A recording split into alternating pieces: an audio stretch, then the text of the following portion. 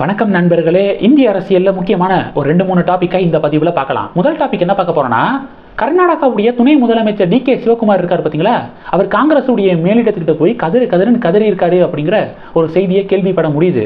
நடந்து முடிந்த பாராளுமன்ற தேர்தலில் கர்நாடகாவில் பார்த்தீங்கன்னா சித்தராமையாவுடைய சொந்த மாவட்டமான மைசூர் இருக்குது பார்த்தீங்களா மைசூரில் காங்கிரஸ் படுதோல்வி. டி கே சிவகுமாருடைய சகோதரர் டி கே சுரேஷ் இருக்கார் பார்த்தீங்களா அவர் தோல்வி அடைஞ்சிருக்காரு. இதன் எதிரொலியாக கர்நாடகாவில் நிறைய அமைச்சர்கள் எங்களை துணை முதலமைச்சராக்குங்க எங்களை துணை முதலமைச்சராக்குங்க அப்படின்னு சொல்லிட்டு இப்போ கோஷம் வந்து போட்டுக்கிட்டு இருக்காங்க. டி கே சிவகுமார் அதுக்கு எதிர்ப்பு தெரிவிக்கிறாரு. ஏன்னா அவரை பொறுத்த வரைக்கும் அவர் ஒரு ஆள் தான் துணை முதலமைச்சராக இருக்கணும் அப்படின்னு சொல்லிட்டு அவர் டார்கெட்டை வந்து ஃபிக்ஸ் பண்ணியிருக்காரு.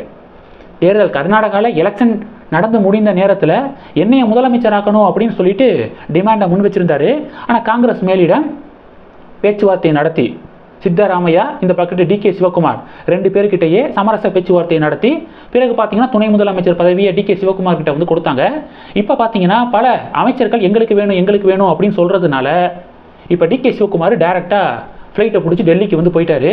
காங்கிரஸ் தலைவர்கள் எல்லாத்தையும் பார்த்து இது மாதிரி பல பேர் எங்களுக்கு துணை முதலமைச்சர் பதவி வேணும் அப்படின்னு கோஷம் போடுறதுனால கர்நாடகாவில் நம்ம கட்சிக்கு பயங்கர கெட்ட பேர் வந்து இப்போ உருவாக்கி இருக்குது காங்கிரஸுக்கு எதிரான அலை கர்நாடகாவில் வீசிக்கு இருக்குது அப்படின்னு டி கே சிவகுமார் கார்கே அவர்கள்ட்ட பேசியிருக்காரு அப்படிங்கிற அப்டேட்டை பார்க்குறோம். ஒன்று ரெண்டாவது டாபிக் என்ன பார்க்க போகிறோம்னா இந்த வருஷ கடைசியில் சில மாநிலங்களில் சட்டமன்ற தேர்தல் வந்து நடக்க போகுது. இப்போ இந்தி கூட்டணி என்ன தெரியுமா முடிவு எடுத்திருக்காங்க?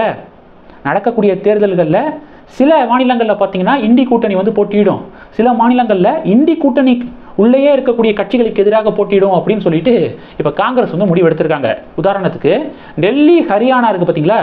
இந்த மாநிலங்களில் பார்த்தீங்கன்னா ஆம் ஆத்மி பார்ட்டியோட கூட்டணி கிடையாது. அப்படின்னு சொல்லிட்டு இப்போ காங்கிரஸ் அறிவிச்சிருக்காங்க. அப்படின்னா என்ன? இந்தி கூட்டணி அப்படின்னு சொல்லிட்டு போட்டி நடக்காது டெல்லியிலையும் ஹரியானாலையும்.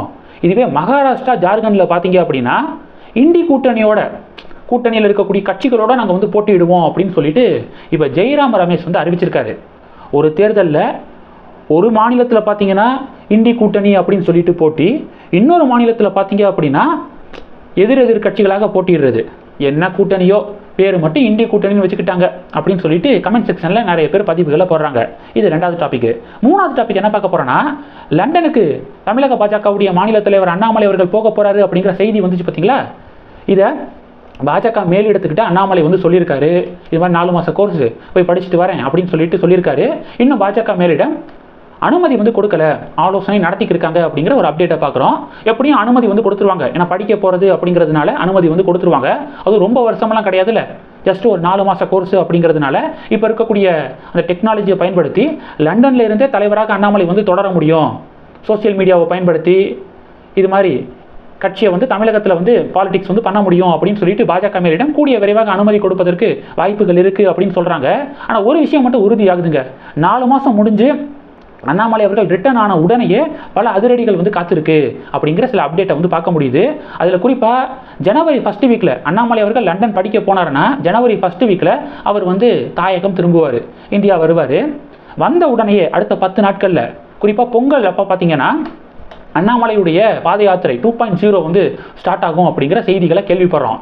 அப்போ அதுக்கு முன்னாடியே லண்டன் போயிருந்தாலும் பாத யாத்திரைக்கான பணிகள் ஒரு பக்கம் வந்து தீவிரமாக நடந்துக்கிருக்கும் இன்னொரு பக்கம் ரெண்டாயிரத்தி இருபத்தி ஆறு சட்டமன்ற தேர்தலுக்கான பணிகள் வந்து தீவிரமாக நடந்துக்கிருக்கும் இது எல்லாத்தையும் தாண்டி இந்த நாலு மாத கேப்பில் பார்த்தீங்கன்னா பாஜகவுடைய முக்கியமான தலைவர்களுக்கு எப்படி டிஎம்கே ஃபைல்ஸை வந்து அண்ணாமலை ரிலீஸ் பண்ணார் பார்த்தீங்களா அது மாதிரி இன்னொரு பட்டியலை அதில் அதிமுகவையும் உள்ளே வந்து சேர்த்து ஒரு ஒரு ஃபைல்ஸை வந்து வெளியிடுவதற்கு வாய்ப்பு இருக்குது இது எல்லாமே ரெண்டாயிரத்தி இருபத்தி அஞ்சு ஜனவரி மாதத்துலேருந்து அப்படியே டக்கு டக்கு டக்கு டக்குன்னு நடக்க போகுது. அதனால் ரெண்டாயிரத்தி இருபத்தி அஞ்சு தமிழக அரசியலில் ரொம்ப சுவாரஸ்யமான ஒரு வருடமாக இருக்கும் அப்படின்னு வந்து சொல்கிறாங்க ஓகே லண்டன் போயிட்டு வந்ததுக்கப்புறம் இருக்க திராவிட கட்சிகளுக்கு கச்சேரி அப்படிங்கிறதான் இது ரெண்டாவது டாபிக் கடைசி டாபிக் என்ன பார்க்க போகிறோம்னா அதிமுகவுடைய முன்னாள் அமைச்சர் எம்ஆர் விஜயபாஸ்கர் இருக்கார் பார்த்தீங்களா அவர் அவருடைய ஆதரவாளர்கள் தொ- கடைசி டாபிக் என்ன பார்க்க போகிறோன்னா அதிமுகவுடைய முன்னாள் அமைச்சர் எம்ஆர் விஜயபாஸ்கர் இருக்கார்ல அவர் தொடர்புடைய இடங்கள் அவருடைய ஆதரவாளர்கள் தொடர்புடைய இடங்களில் சிபிசிஐடி இப்போ ஆய்வுகளை நடத்திக்கிட்டு இருக்காங்க அப்படிங்கிற அப்டேட்டை பார்க்குறோம். நூறு கோடி ரூபாய் மதிப்புள்ள நிலத்தை போலி பத்திரம் மூலம் அபகரித்த வழக்கு வந்து அவர் மேலே இருக்குது அந்த கேஸ் வந்து இருக்குது அந்த கேஸ் தொடர்பாக இப்போ சிபிசிஐடி ஆய்வுகளை நடத்திக்கிட்டு இருக்காங்க. கடந்த இருபது நாட்களாக எம்ஆர் விஜயபாஸ்கர் அவர்கள் தலைமறைவாக இருக்காரு அப்படிங்கிற செய்திகளையும் நம்ம பார்க்குறோம். இந்த டாப்பிக்கு தமிழக அரசியலில் பேசு பொருளாக மாறி இருக்கு இந்த டாபிக்ஸை பற்றி உங்களுடைய பார்வைகளை மறக்காமல் கமெண்ட் பண்ணுங்கள் இந்த வீடியோ பிடிச்சிருந்துச்சுன்னா லைக் பண்ணுங்கள் ஷேர் பண்ணுங்கள் மறக்காமல் நம்ம சேனலில் சப்ஸ்கிரைப் பண்ணுங்கள் மேலும் நம்ம சேனலுக்கு சப்போர்ட் பண்ணணும் அப்படின்னு ஆசைப்பட்டீங்கன்னா நான் பேசக்கூடிய வீடியோவுக்கு கீழே நன்றி அப்படிங்கிற ஆப்ஷன் இருக்குது அதை கிளிக் பண்ணி உங்களால் முடிந்த தொகையை சேனல் வளர்ச்சிக்காக கொடுத்து உதவி செய்யலாம். இல்லை ஜாயின் பட்டனை கிளிக் பண்ணி நம்ம சேனலுக்கு மெம்பராக வந்து ஆகலாம். நன்றி. ஜெய் ஹிந்த்.